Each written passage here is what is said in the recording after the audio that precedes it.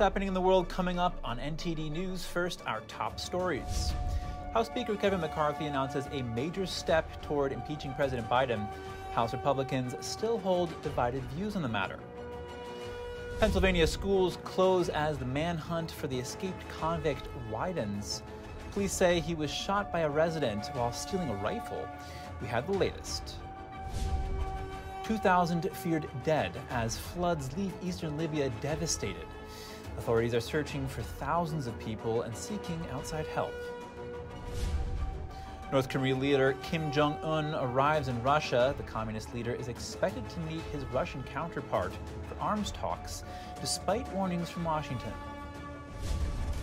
Transferring billions of dollars to Iran to free American hostages, lawmakers accuse the federal government of negotiating with terrorists. That's over reports of a planned prisoner swap. And nearly 200,000 illegal border crossers were released into the U.S. without an accurate address to track them down. We have details from a new watchdog report.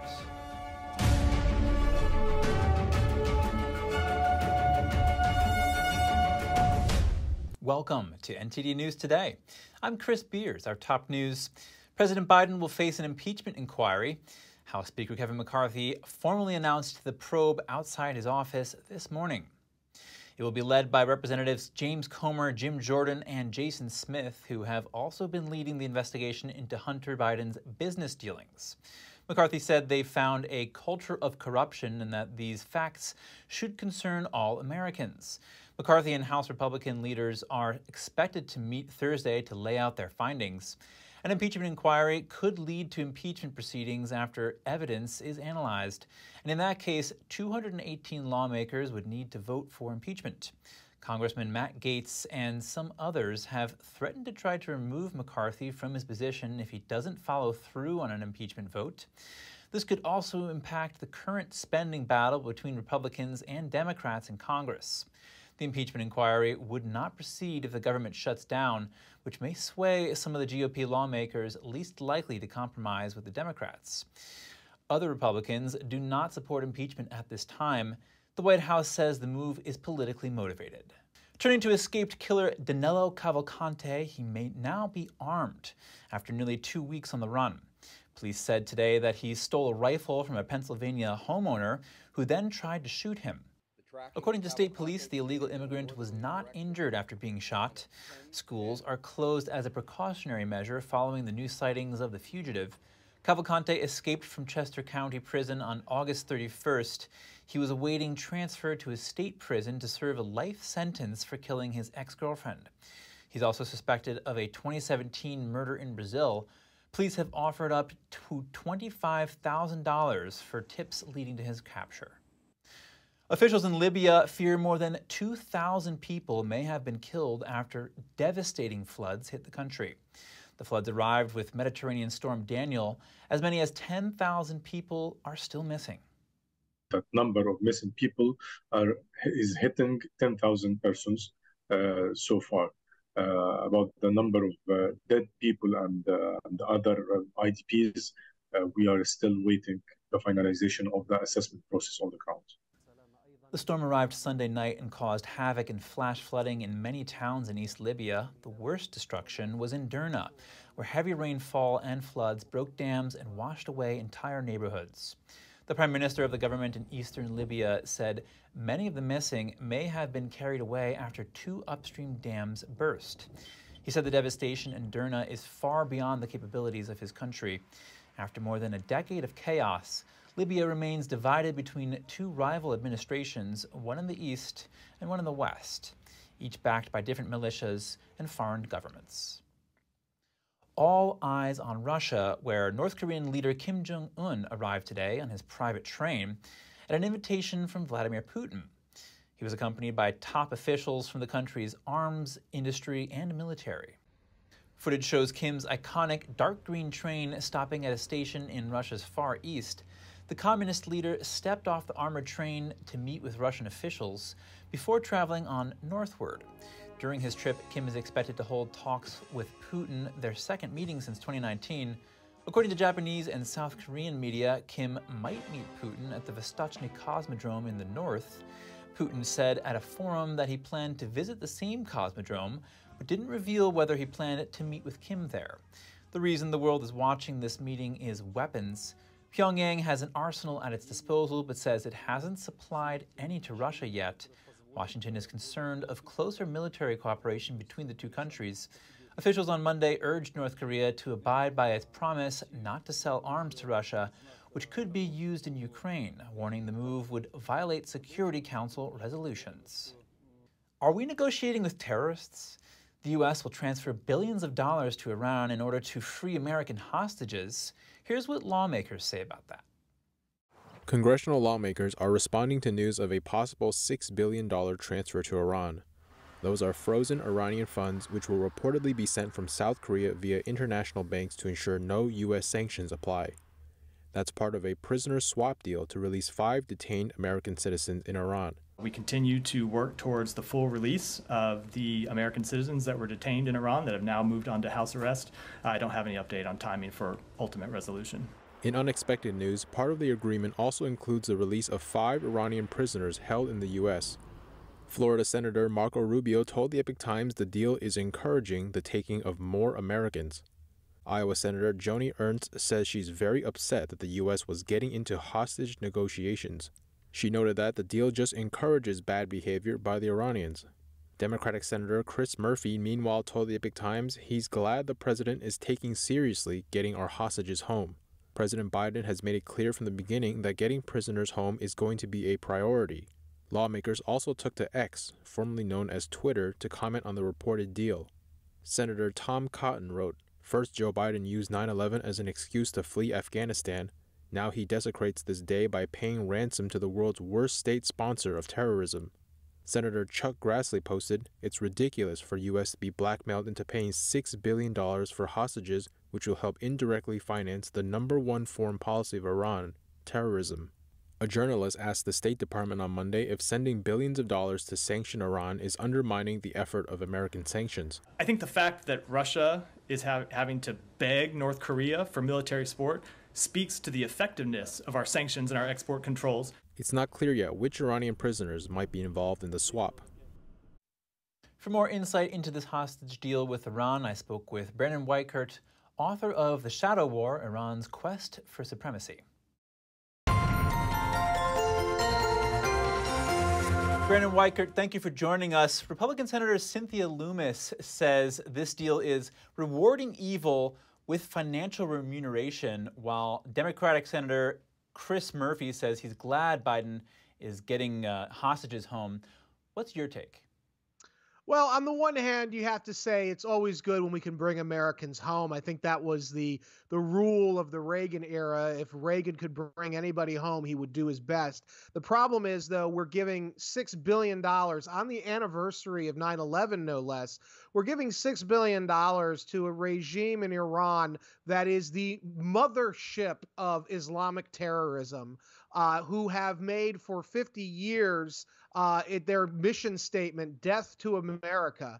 And we know that that $6 billion will be folded into their larger program in Iran of destroying the United States position in the Middle East, attacking our allies, uh, and basically trying to empower uh, China and Russia in the Middle East at our expense. So it was not a great deal. Now, Brandon, reportedly, the funds in this deal released from South Korea to Qatar will be used only in humanitarian trade. Uh, uh, what does that mean exactly? Um, well, they, there's no way that the United States is going to be able to control the, the flow of the money once it gets into the hands of the Iranian Revolutionary Guards Corps. So make no mistake, this money is not going to be used for feeding the people of Iran or helping the impoverished in Iran.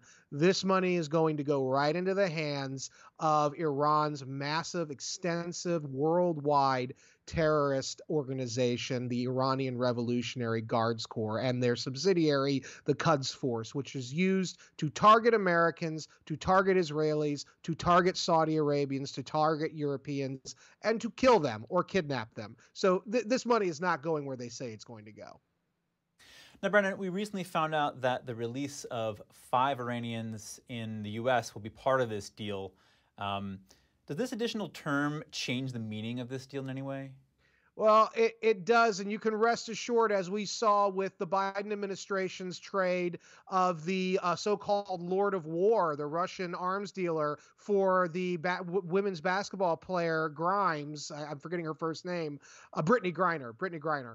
Um, you can rest assured that very similar to that trade, we are probably giving five very seriously uh, threatening people that we captured, we're giving them back to Iran, where those five individuals will go back into the cycle of being used to, you know, target and harm American interests. And we're getting in exchange Americans, but and we're giving six billion dollars, but those Americans likely were not anywhere near as strategically valuable as the people that we're giving back to Iran. Well, Brandon Weichert, thank you very much. Thank you. Coming up, a judge's order limiting government from contacting social media companies is set to go into effect. More in just a moment here on NTD News Today.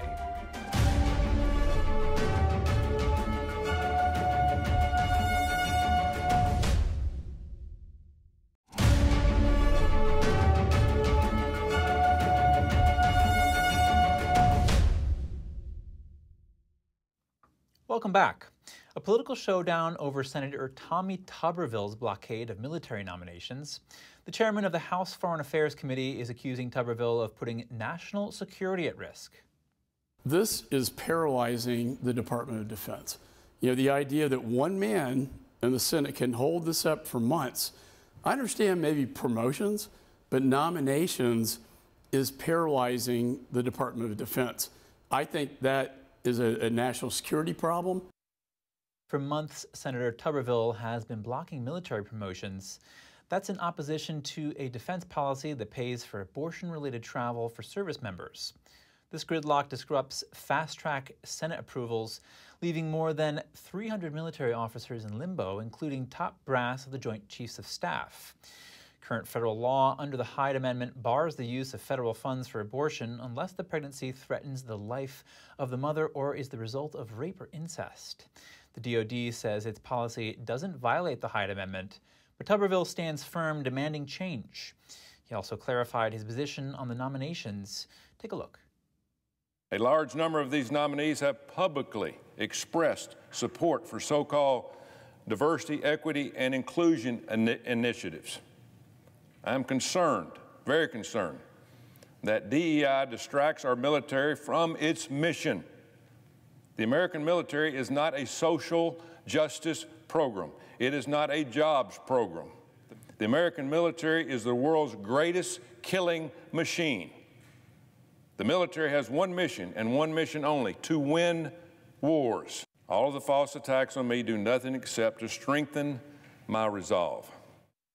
Tuberville warns that future generations will live in a more dangerous world if the Biden administration continues to inject politics into the military. Turning our attention now to the illegal immigration crisis, many illegal border crossers were released into the U.S. without an accurate address to track them down. This is what a new watchdog report found. The Biden administration doesn't have information to locate over 100,000 illegal immigrants released into the U.S. That's according to a report released Monday by the Department of Homeland Security Inspector General. The DHS released more than 1.3 million illegal immigrants under federal law into the U.S. from March 2021 through August 2022. DHS workers are required to identify an address prior to releasing each immigrant. The addresses help in situations when ICE officers need to track down fugitive illegal immigrants. The DHS Inspector General reviewed over 980,000 records and found Border Patrol had not obtained an address or had obtained an invalid address from more than 177,000 released illegal immigrants. That included illegal immigrants with undeliverable addresses and addresses at entities such as charities or other government agencies. Some addresses were used repeatedly. A full 80% of the reviewed addresses were used at least twice over the 18 month period. More than 780 addresses were used over 20 times. The watchdog made several recommendations to the DHS, such as creating a plan for when illegal immigrants do not have a valid U.S. address. The Inspector General concluded in the report ICE must be able to locate migrants to enforce immigration laws, including to arrest or remove individuals who are considered potential threats to national security. Minnesota will begin granting driver's licenses to illegal immigrants next month. The state guarantees applicant information won't be revealed to immigration authorities. The Minnesota Department of Public Safety says its driver's license for all law eliminates the need to show proof of legal presence in the United States. The program begins October 1st. About 81,000 illegal immigrants in the state could be eligible. Minnesota previously required license applicants to show proof of either citizenship or lawful presence in the United States. Democrats in support of the plan insist the program will make roads safer as it will mean more vetting for drivers. Republicans warn the measure could encourage illegal immigration, enable potential terrorists to vote and fly illegally, and contribute to voter fraud. 18 other states and the District of Columbia provide driver's licenses to residents regardless of immigration status. U.S. officials could soon be limited from contacting social media companies. The order from a Louisiana judge goes into effect soon, despite being partly overturned. The case started with a lawsuit brought by the attorneys general of Missouri and Louisiana and several individuals. They allege U.S. officials are lobbying social media platforms to suppress what the government considers to be misinformation and that this is violating users' rights to free speech. The case focuses on posts about the COVID 19 pandemic and claims of fraud in the 2020 election. A judge in July found that federal officials did violate the First Amendment by coercing companies into censoring posts. The judge issued a preliminary injunction banning a wide range of communications between officials and social media companies. His injunction was altered by another set of judges who limited the type of officials that it affected and what communication it prohibited. The injunction ruling was also put on hold for 10 days. Now those 10 days are about to expire. But due to legal processing, the limitations are not yet in effect and won't be until November 1st. The future looks a little gloomier to small businesses. Main Street's optimism fell last month, according to a National Federation of Independent Business survey released today. Here to discuss this change amid higher inflation is Javier Palomares, founder and CEO of the U.S. Hispanic Business Council. Javier Palomares, thank you for joining us again. Thanks for having me, Chris. Javier, a survey by the National Federation of Independent Business said small business optimism fell last month. What's driving this? You know, I think uh, Americans are living a, a, life of two realities right now. Uh, if you look at key metrics, um, jobs numbers are looking good. Unemployment is at 3.5%. Uh, you know, we haven't seen that sustainable uh, a percentage in over 50 years. Uh, GDP grew 2. 2%. Uh, pre-pandemic, it grew 2.1%. Uh, consumer spending is up by 8% last month. Home values remain high. All of those metrics uh, are, bode very well for us. But stubbornly, you know, we see some other key indicators. Um, you know, inflation continues uh, to be a bit high. It's at 3.5%. It's not where we want to be, but I think it's important to remember that um, you know, last summer we were at 9.5%, and it has steadily decreased month after month for about 13 months. But we still have that psychology of, you know, an inflation that's a bit high. We see some looming strikes with the auto workers, the continuing strike uh, with the with screen actors and and get and the uh, and the writers, uh, and and a near miss with UPS in terms of a strike. So those kinds of things still loom in the uh, in the psychology of the American people and certainly uh, Hispanic and, uh, and small businesses. Yeah, there are a lot of things that are concerning small business right now. Now, what can small businesses do to hedge against the effects of inflation? You know, I think we continue to do what we do um, offer the best work environment for our employees. It's increasingly difficult to find the right employees and uh, the right skill sets and even more difficult uh, to maintain and retain your employees. Uh, it's a difficult market when it comes to you know personnel and hiring. Uh, but with that said, you know the creativity, uh, the hustle of the American small business community continues. We're obviously the engine that drives the American economy. So you know anything we can get from this administration, our elected officials in terms of help, uh, would be fantastic. Now, you mentioned our economy is sort of has two realities. Can you explain what you mean by that? Well, again, I think, you know, uh, there are some key metrics that, that we look at as a business association that are trending definitely in the right direction. But stubbornly, um, you know, there are there's a mood uh, amongst the American small business community. There's a sense of foreboding, and uh, and uh, and while we haven't hit the recession uh, that some thought might come about, uh, I think we're going to come in for a soft landing, which is great. Uh, the optimism that one would expect with these kinds of metrics simply isn't there.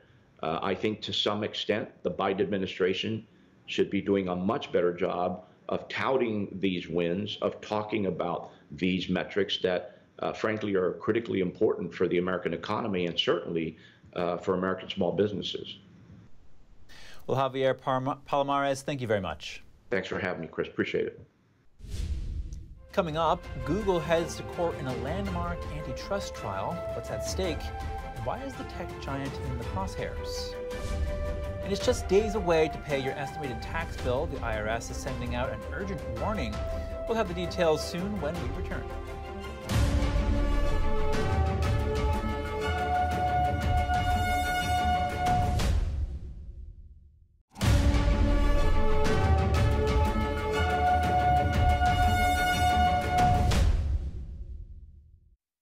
For staying with us. A warning from the IRS for freelancers and retirees as a deadline looms to pay estimated taxes. The agency cautions people to stay current to avoid a surprise at tax time. The surprise is potential penalties for missing payments. Some taxpayers don't have taxes withheld from their income. For example, gig workers, freelance workers, retirees, partners, and corporation shareholders. For them, the deadline for filing third quarter estimated tax payments is September 15th. If you're unsure if the deadline applies to you, you can consult IRS guidance on Form 1040ES for details. Alabama has petitioned the Supreme Court. They want a temporary halt of a lower court decision that blocks the state's recently redrawn congressional map. The state says it isn't required to create a second majority black voting district, saying that would result in a racially segregated court drawn plan. In June, the Supreme Court upheld the lower court ruling that Alabama needed to redraw its congressional districting map. This so black voters had the opportunity to elect the candidate of their choice, according to the Voting Rights Act of 1965. However, the map the state passed in July had only one majority black voting district out of seven. 27% of the population in Alabama is black.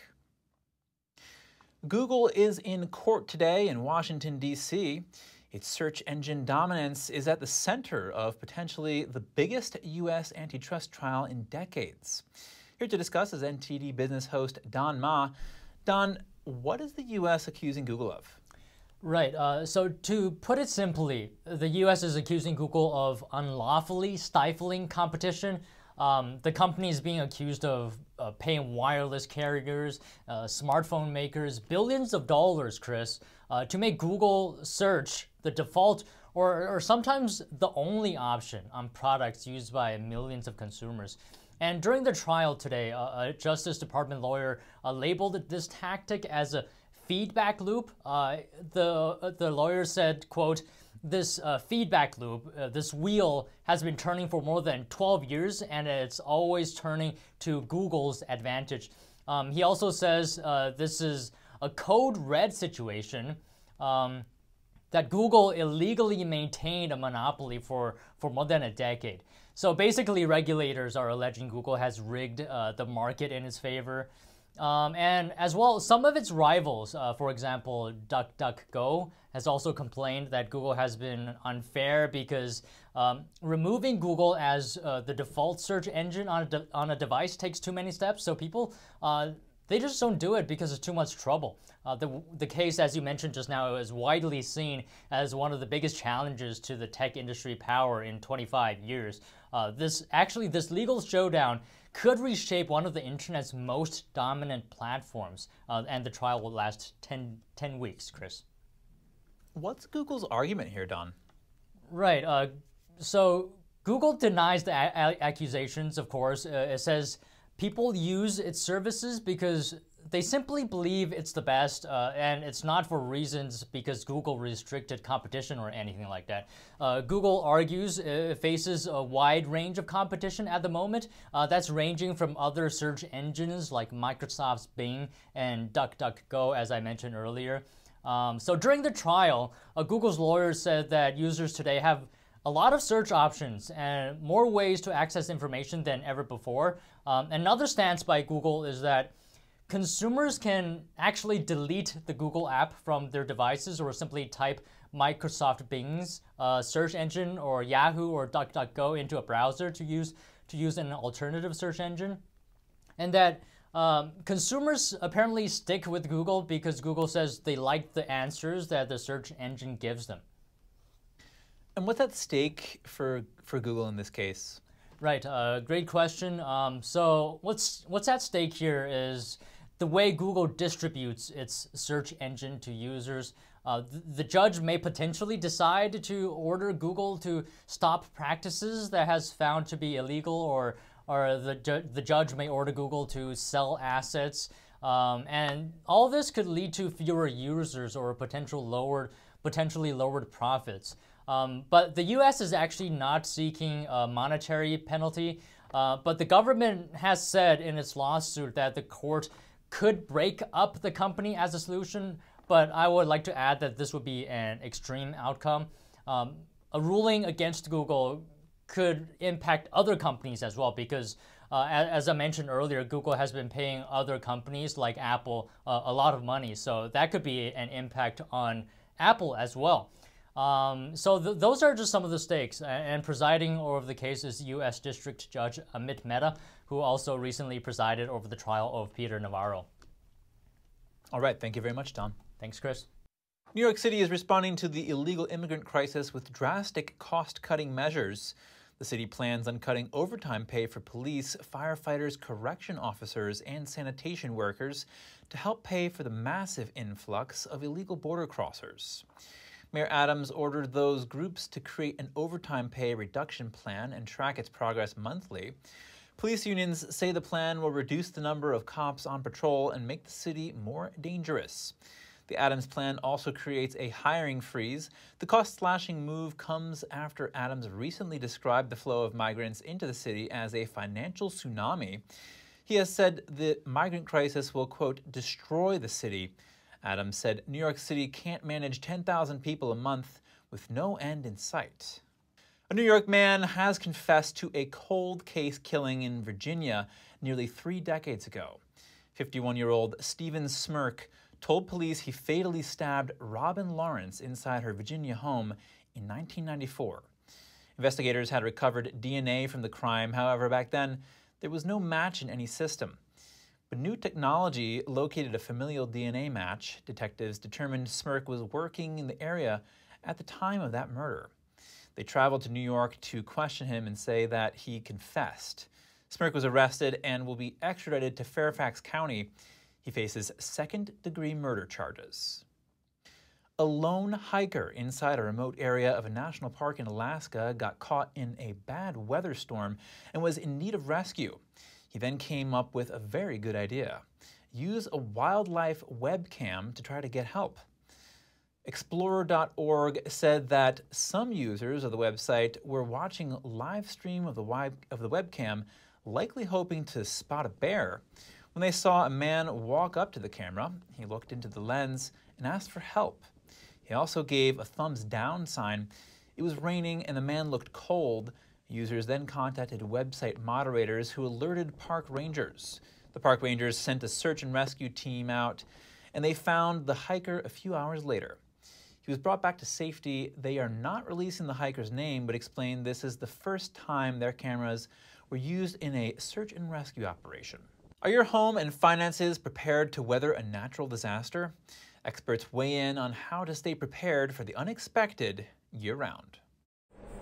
Mother Nature has been punishing this summer, and hurricane season could bring more chaos before it wraps up. The National Hurricane Center says it's important to think a few steps ahead. Often people, when they evacuate out of a hurricane zone, they, they underestimate you know, how long it might take to safely get back into the community that they've evacuated from. And in the stressful run up to a natural disaster like a hurricane or wildfire, basic needs like food, shelter, and water take priority, which is why experts recommend having a disaster readiness financial plan at the ready year round. To do that, FEMA recommends the following steps.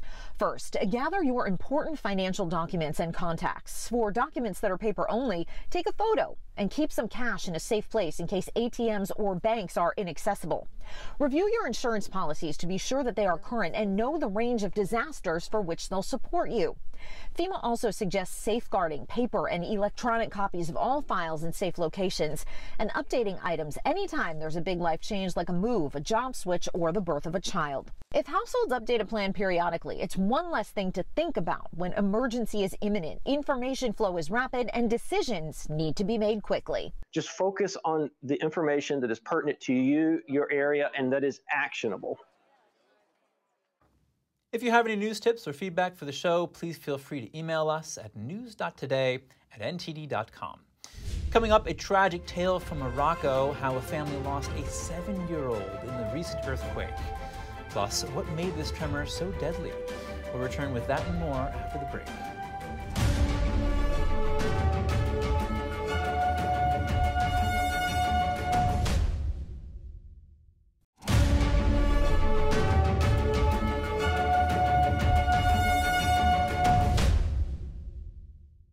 Welcome back. If you're just joining us now, here are some of today's top headlines.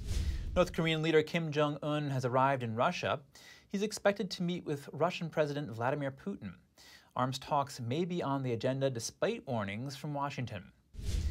2,000 people are feared dead in flooding in eastern Libya after a devastating storm hit the North African country. Up to 10,000 people remain missing. The U.S. is reportedly preparing to unfreeze sanctions on Iran worth $6 billion and release five Iranians in exchange for five Americans.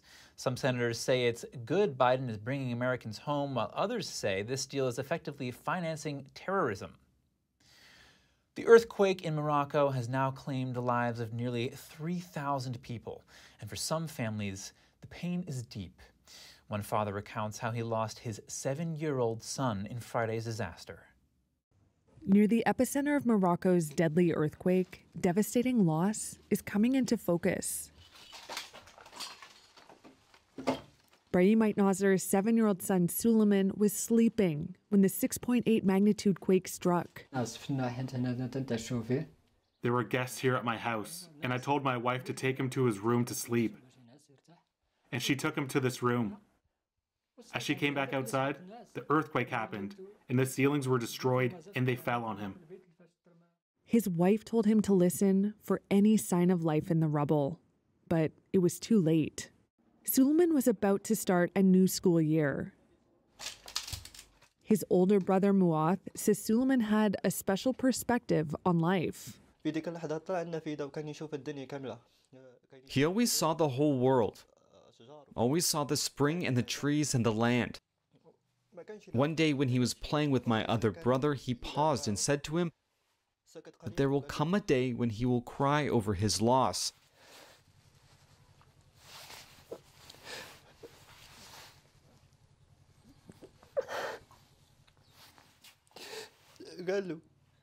And here I am doing just that. Muath says he and another brother managed to survive by climbing through the collapsed kitchen ceiling.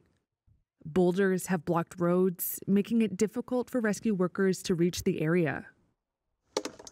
Brahim said he helped rescue half a dozen neighbors in the hamlet and pulled out several dead bodies.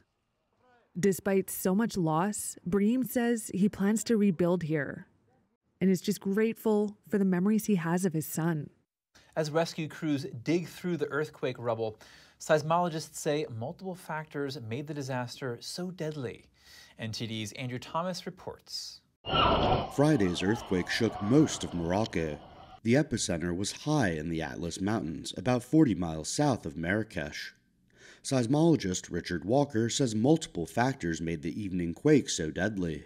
It is an earthquake occurring in an area with a relatively large population, and especially a population where there's quite a lot of vulnerability in terms of the building types to earthquake shake. The earthquake occurred when the African and Eurasian tectonic plates collided, but it was at a shallow depth, which made the quake more dangerous. So this means that uh, the earthquake waves have taken less distance to get to the surface, and so because of that, they have more energy within them, right? So, so a lot of things that add up towards making this such a disaster. The magnitude 6.8 earthquake was Morocco's strongest in over a century. A magnitude 7.8 quake rocked Syria and Turkey, killing more than 21,600 people in February. In Turkey, the rupture created by the earthquake was 350 kilometers long. So the the damages were spread over several regions. So it is the scale of disaster was uh, an order of magnitude higher uh, in Turkey. In Morocco, rescue teams are racing to reach remote mountain towns devastated by the earthquake. More than 2,800 have been confirmed dead. Aftershocks continue in areas with already damaged, unstable buildings. The risk is making rescue efforts even more dangerous. Survivors have been told not to go back inside their homes. It is clearly a difficult period, especially because at the moment people are, are trying to clear the rubbles. And of course, if there is a, a, a shock, then remaining the new buildings can collapse. So it is a real safety issue for the rescuers. Any trapped survivors are running out of time. Most people can only survive a maximum of three days without water. Andrew Thomas, NTD News. Still to come, hot weather in Tunisia hits the country's small wine industry. More than 1,000 miles away, Germany's grape harvest starts off strong. And the world's oldest functioning planetarium, it's entirely mechanical and it's seeking UNESCO World Heritage status. We'll be back with more soon here on NTD News.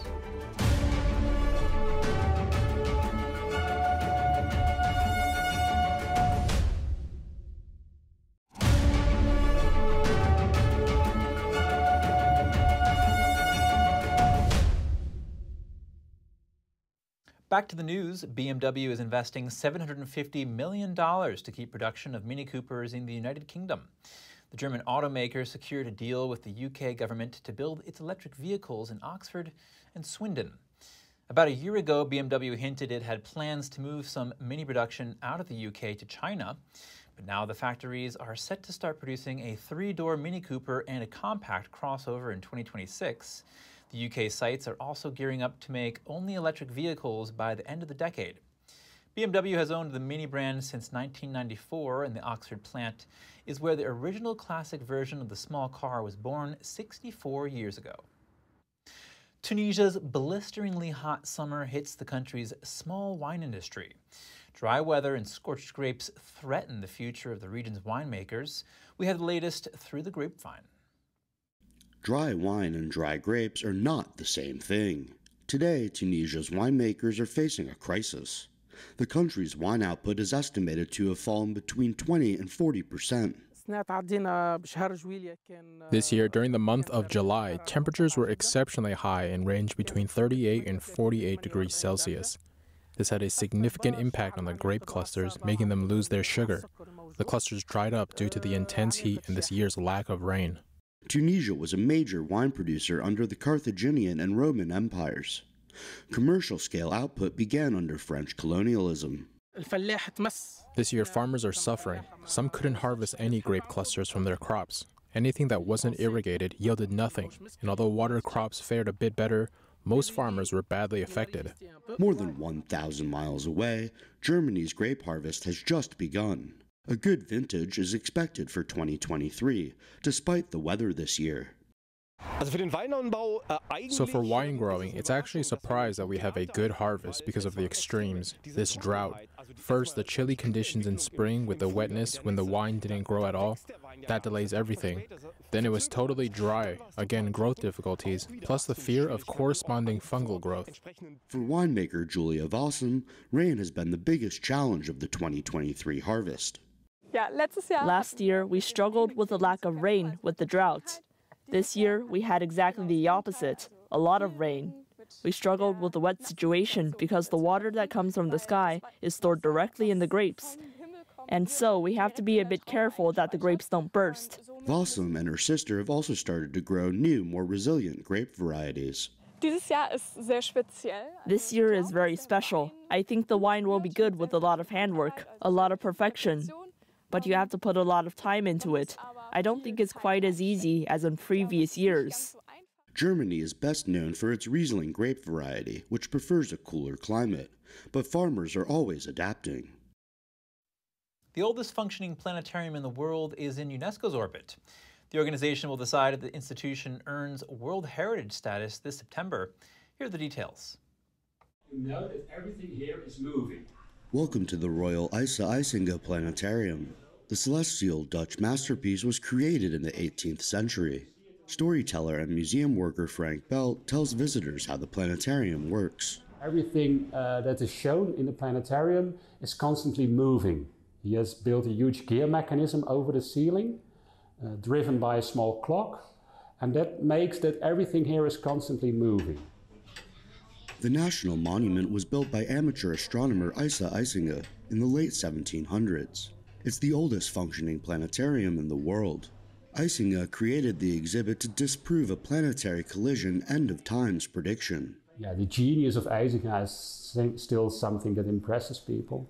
And it's a great example of, of uh, what people, uh, yeah, how people thought in the 18th century, in the Age of Enlightenment, and how they tried to popularize astronomy. Now the planetarium is running for UNESCO World Heritage status. Well, we see it happen, of course, because we are convinced that this really deserves that title.